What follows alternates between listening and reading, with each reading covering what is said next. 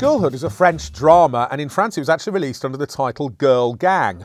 I think they've probably done the right thing in changing the title because although it is about a young woman who lives on an estate uh, uh, outside of Paris, one of those kind of rough estates that we've seen in films like La Haine, it isn't just about her falling into a life of crime and joining a girl gang, although that is what happens it starts out that she's doing very well, or it seems like it. She's trying to live a normal kind of straight life, but it's just not easy, and it's hard to find a place when you're as marginalised as people who live on those estates are. So when she falls in with some other young girls who are living a life of petty crime, then she does actually find a place for herself, and it's actually quite empowering. You're not looking down on these kids, you actually empathise with why they're living the lives that they lead.